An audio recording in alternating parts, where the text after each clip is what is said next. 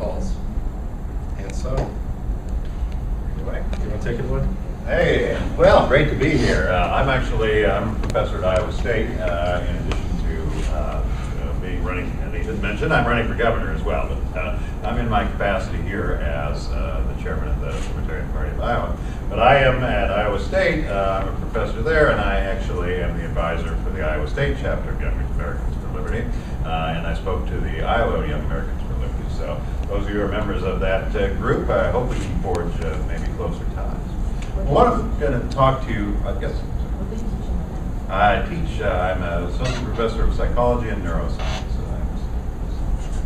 Well, uh, here's my goal today. My goal today is to explain to you what libertarianism is. I'm not going to try and convince you to be a libertarian. That would be a bit much to ask in a 30-minute talk. But here's my goal, is that when we're all done, you'll be able to say, oh, I know how the libertarians would feel about that particular issue. So that's what we're looking for. So where are we? What are uh, libertarians? Uh, let's think about uh, politics and the typical uh, way we think about the traditional view of political philosophy. That is that political philosophy is kind of a unidimensional scale and it goes from left wing over here, kind of moderates in the middle, and then right wing over here. And so we all know some of the things we probably associate with left wing and right wing positions. So left wing positions would be like they'd be say more tolerant of high taxes, right wing would want lower taxes. Left wing would kind of be more tolerant of gay marriage, right wing less tolerant.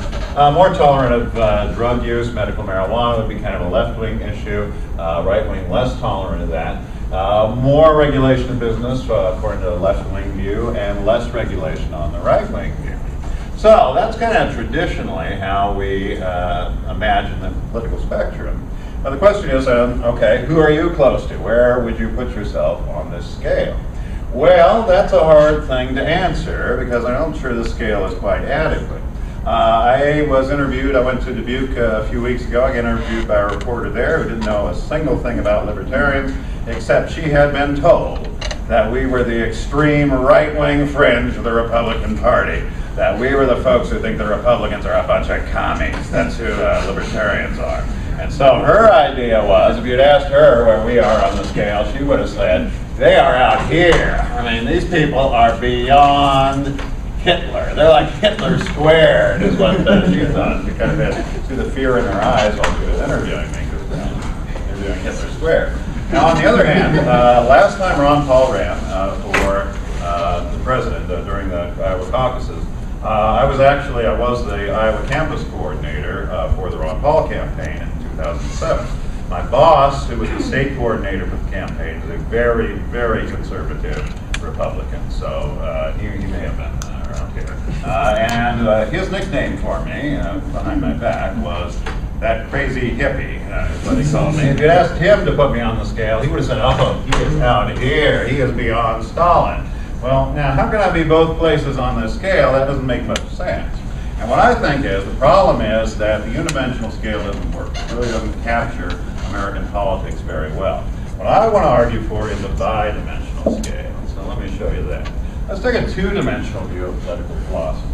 And the two dimensions are, we have one dimension for personal freedom that can go from low to high, and one on economic freedom that can go from low to high.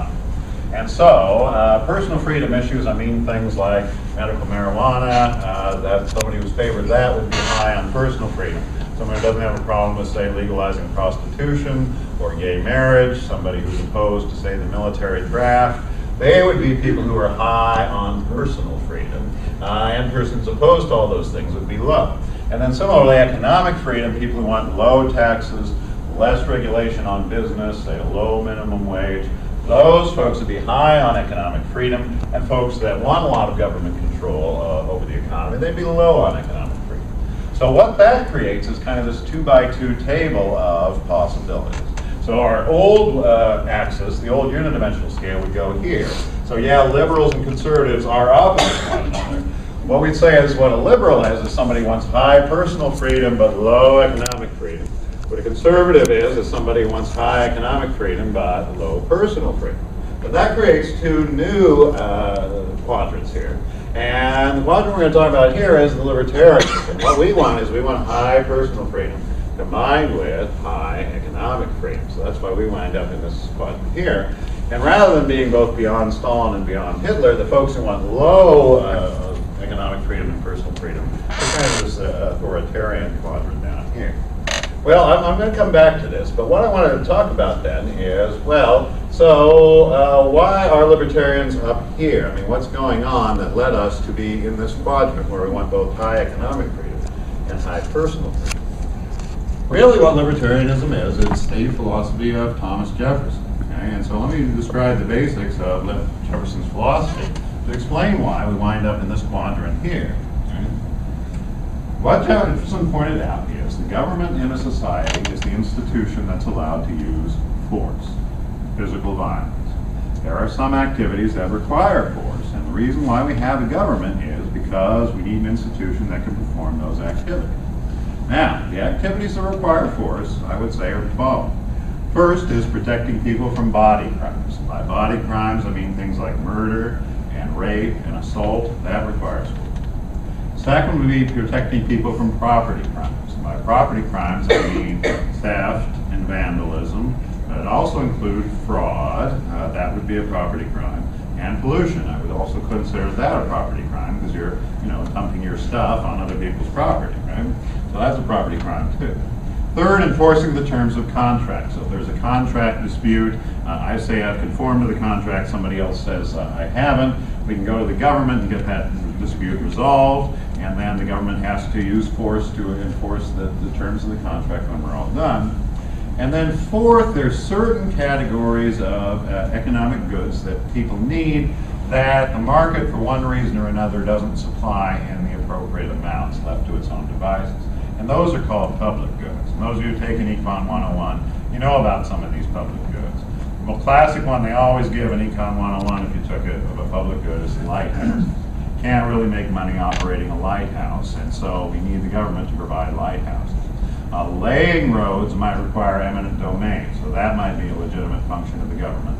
But maintaining roads doesn't. So I think most libertarians would say, well, after the roads have been laid, they should be treated like a public utility, like the electric company or the cable TV company. There should be a private company operating the roads with some sort of government oversight.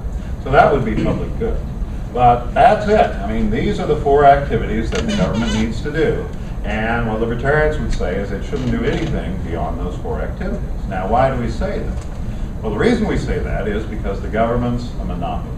And like all monopolies, it has very little incentive to please its customers and very little incentive to be cost effective.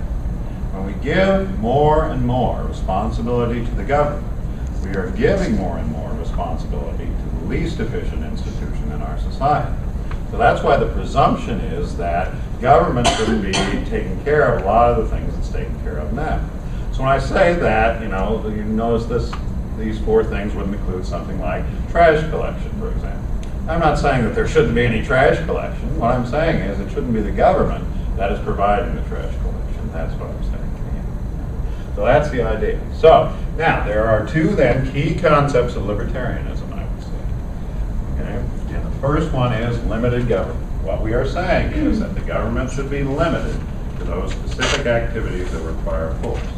Now, I would be willing to say that the government may collect taxes in order to fund those four activities that require force, but it may not collect one penny more in taxes than it needs to supply those activities.